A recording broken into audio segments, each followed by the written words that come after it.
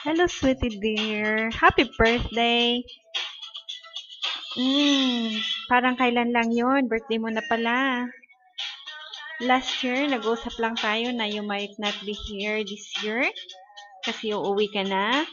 But I'm glad andito ka pa.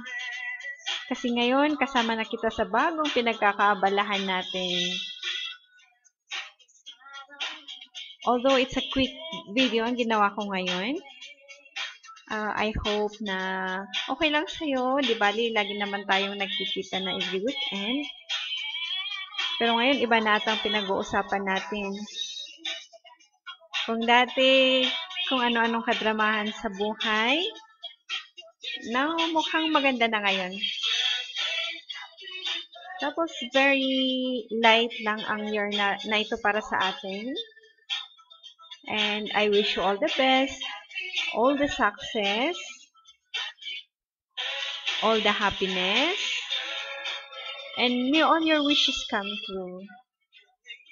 I love you, Vivian.